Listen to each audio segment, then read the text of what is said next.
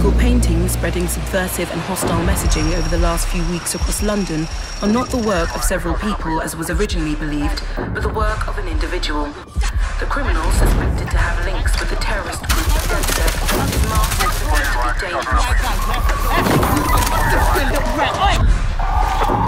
Authorities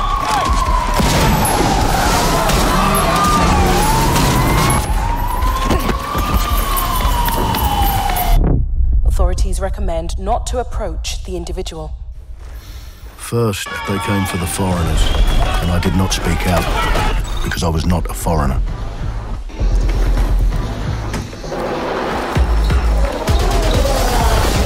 Then they came for the protesters, and I did not speak out because I was not a protester.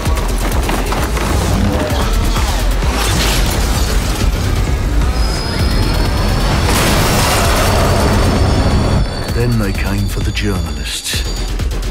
And I did not speak out because I was not a journalist.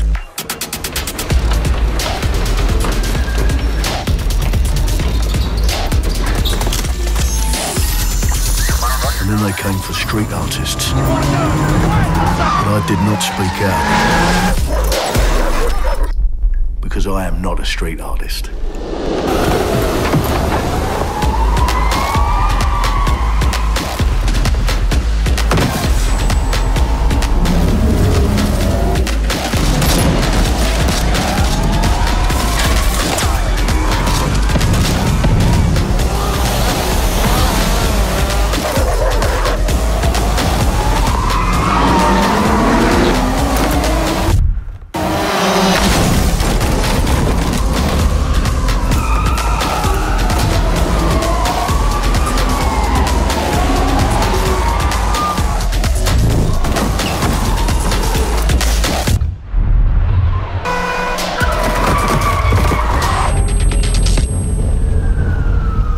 I realised that eventually they'd come for me, and there would be no one left to speak for me.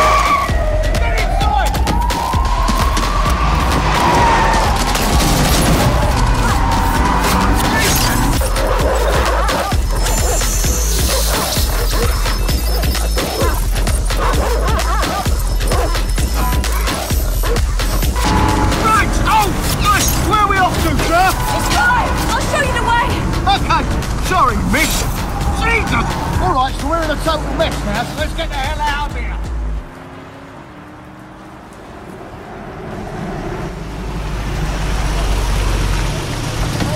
don't hear enough about it. You follow? And there's nothing more debilitating than that. Right. This way, not to be able to do what you're passionate about. After a long night, London is in chaos. The main arteries through the city are blocked. Hundreds of heavily armed Albion Well, well, well. Welcome to the Resistance. Here's a welcome gift for our new members. But the disappearance of the criminal You could have told me it was a bloody costume party. has been raised. Try it on. The new key suspect has been identified as David Ford, a 43 year old London taxi driver. He has no criminal record but is currently believed to be a terrorist. People have been asked not to approach him. The authorities advise all residents.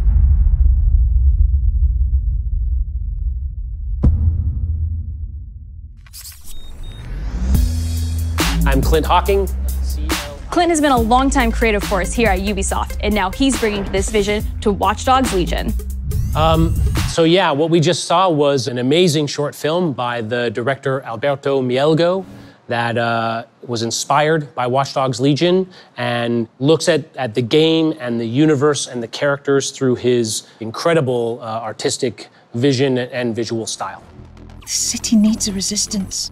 Like the film, Watch Dogs Legion tells the story of ordinary heroes setting aside their differences in order to come together as a collective and to fight for a positive change. You can literally recruit and play anyone who you see in the open world. You profile people that are interesting to you, you help them with their problem, you play their origin mission, Just help me get some closure and I'll do whatever you want. Sounds like a DedSec problem. Leave it to us. and that's how you recruit them into your team. And then they become the heroes of the game and, and the stars of your story. And what are you doing in my flat? You with Albion? Please, Think more underground. You with Albion? I'm tickled, but think more underground. What, DedSec? Yeah, right, and I'm Che Guevara. You're done? And they make the story not only, you know, unique to them, but unique to you as the player and, and personal to you because they're, you know, heroes that you've chosen and invested in. What would I say to fans? I guess I'd say, you know, uh, take care of yourselves, stay safe. Welcome to the Resistance. Our London town. A modern metropolis. Built on history and prosperity. Only took 12,000 years to build it up, and one night to tear it all down.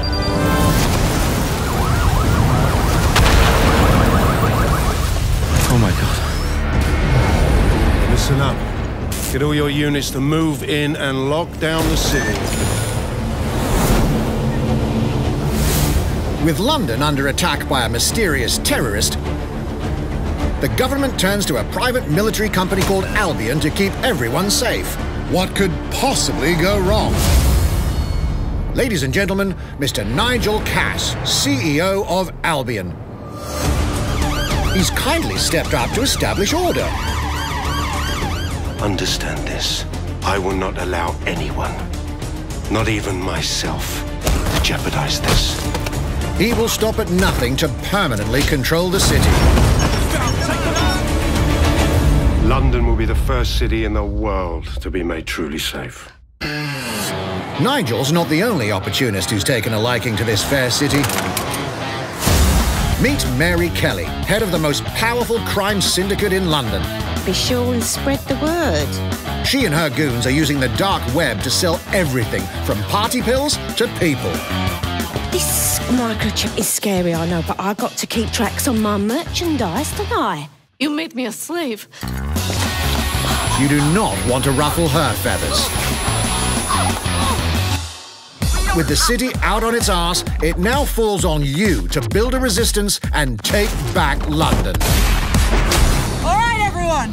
Faces on, guns out. Any of the brave Londoners you see walking the streets can be recruited into your team.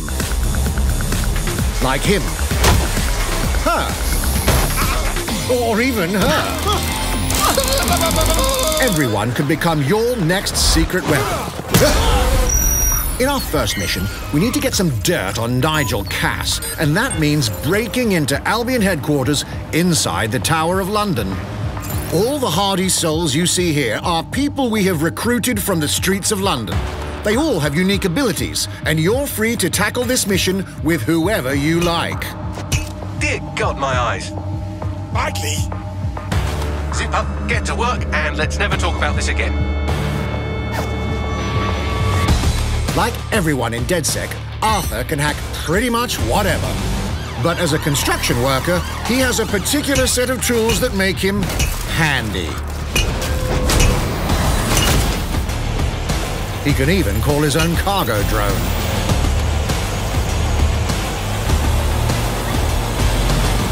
Perfect for gate crashing, when you're not invited. And who needs a regular old gun when you have a bloody nail gun? Come in, you soidoid shithorn.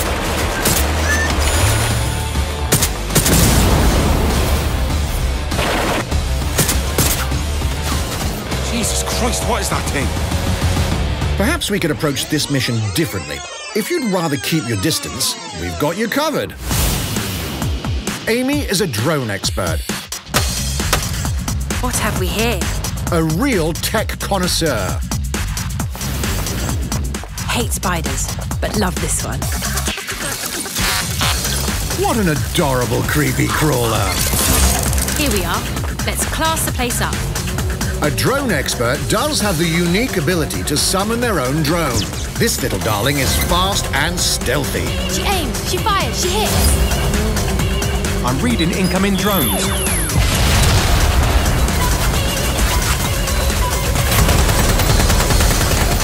She can also hack enemy drones, turning the tide in her favor. And if you are not into direct confrontation, there are more ways than one to get the job done. Recruiting an Albion officer like Brielle here might be challenging. but it'll get you inside restricted Albion areas. Don't mind me, just doing recon for a bunch of insurgents. However, do anything suspicious and she'll probably wind up with a bullet in the back of her head. You've been approved for entry. We're missing the human element here. I can get the Defence Minister on the line right now. Well, if you feel you must.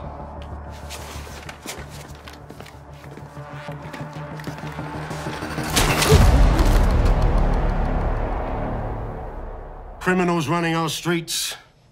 Illegals threatening our families. The police commissioner himself. Assassinated by terrorists. Well, that seems to be enough evidence. Next up, we're crashing Mary Kelly's organ farming operation and putting a stop to it. That's good. The buyers expect high quality stuff. And we need a hard nut for this. Impairing our frontal lobe again, are we? Bags, don't disturb me in my natural habitat. Say hello to Mickey. The man lives for his team. That put another hair on my chest. And doesn't mind getting his hands dirty.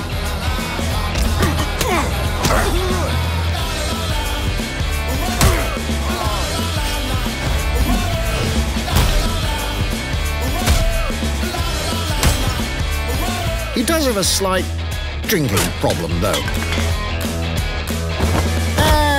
He's passed out. Ah, well, we'll come back to him. You know what? Let's go with someone a bit more professional.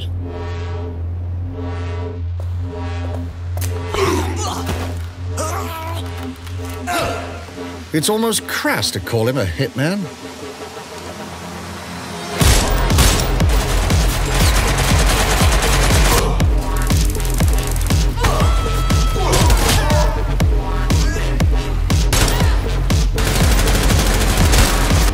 Might even call him an artist.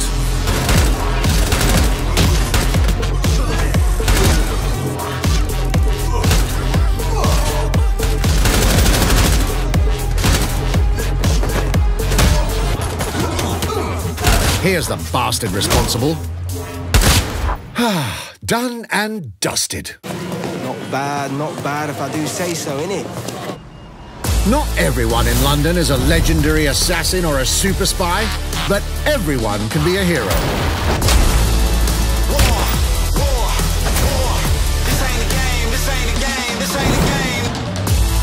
So get out there, find the best recruits, and build your resistance.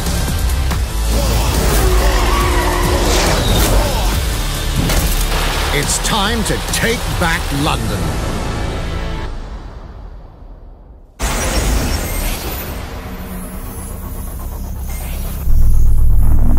Plunging the player into a living, breathing city teeming with unique locales and characters has always been a central pillar of the Watch Dogs series.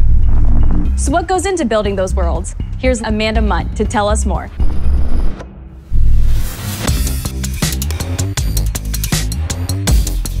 My name's Amanda Munt. I'm a level artist on Watch Dogs Legion at Ubisoft Toronto. Being a level artist, I think, is the coolest job in video games because we do get the freedom to, to kind of like pick and choose what little details we want to depict. And we get ample opportunities to tell the stories that we want to tell in the spaces that we're assigned to. I have the capacity to hide things and, you know, like small little Easter eggs. In AC Unity, there was a boat somewhere in the world that was covered in cats. And then it happened again in Watch Dogs 2. And there may or may not be something in London that is a boat filled with cats in some capacity. So I was fortunate enough to go to E3 last year. Some of the people that I was showing our demo to were from London. So no matter where I dropped them in the city, they would go, oh my God, this feels like Camden. This, you know, this feels like Southwark. This feels like Westminster. When people are talking about some detail that I've put into the world and they're excited about it, like that feels so good as somebody who, you know, builds these worlds with care. I love it.